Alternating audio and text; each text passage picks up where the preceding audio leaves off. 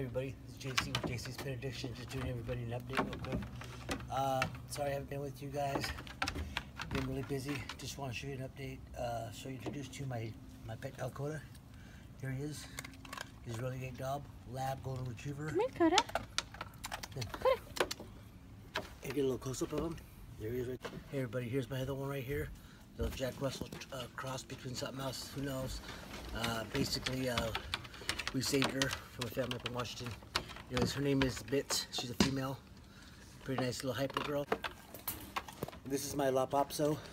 He's a boy. Uh, guess his name? Three, two, one. I'll help you out. Scrap, scrap. Yep. Smells and looks like Scrappy. That's why we named him Scrappy. He's a good dog though. Good boy. Last one.